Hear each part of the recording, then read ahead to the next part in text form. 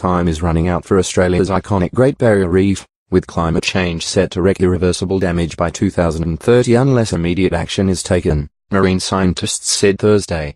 In a report prepared for this month's Earth Hour Global Climate Change Campaign, University of Queensland reef researcher Ove Hoegh-Guldberg said the World Heritage Site was at a turning point.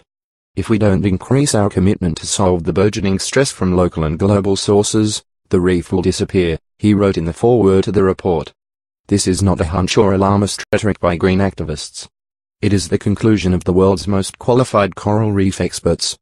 Hoegh-Guldberg said scientific consensus was that hikes in carbon dioxide and the average global temperature were almost certain to destroy the coral communities of the Great Barrier Reef for hundreds if not thousands of years.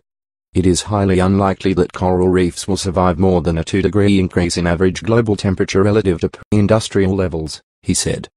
But if the current trajectory of carbon pollution levels continues unchecked, the world is on track for at least 3 degrees of warming. If we don't act now, the climate change damage caused to our Great Barrier Reef by 2030 will be irreversible.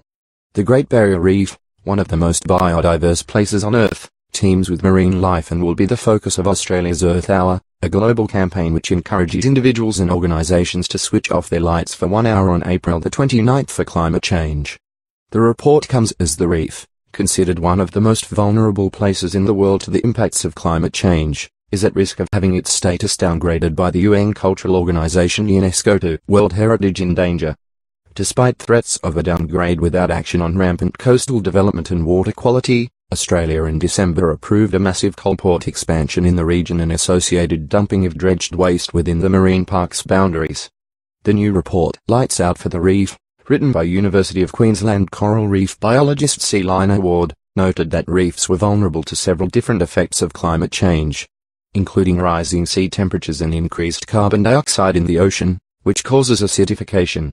It found the rapid pace of global warming and the slow pace of coral growth meant the reef was unlikely to evolve quickly enough to survive the level of climate change predicted in the next few decades.